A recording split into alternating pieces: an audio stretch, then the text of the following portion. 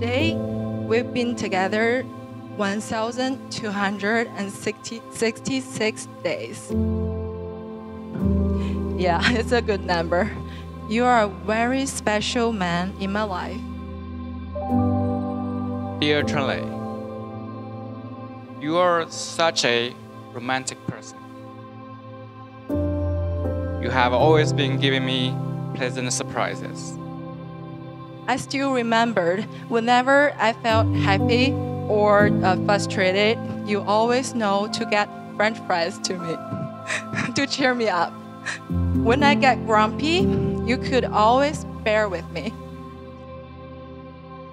So you filled my life with sunshine. Being with you, I feel empowered. I'm no longer just myself. We share the joy of success. We encourage each other in face of hardships. Uh, I really admire um, how you do everything sincerely. And I would always like how you show off the English words in front of me that you knew, but I haven't learned yet.